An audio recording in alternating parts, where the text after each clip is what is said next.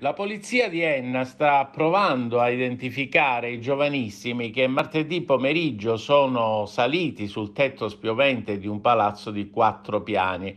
Una scena che non è passata inosservata ai vicini dei palazzi di fronte che hanno assistito inermi e preoccupati ai balzi di questi ragazzi che si rincorrevano sul tetto e montavano l'uno sulle spalle dell'altro in equilibrio precario.